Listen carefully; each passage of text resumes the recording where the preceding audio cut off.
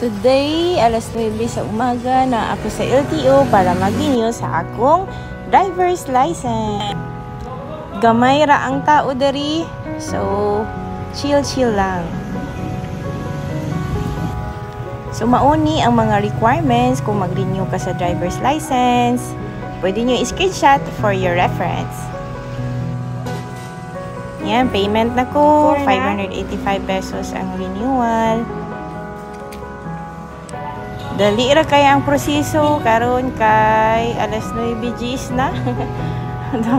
Nahuman na so na na akong ID. Salamat kaayo LTO Mambahaw Camigan Branch. Nanagyugoy driver's license na valid for 10 years.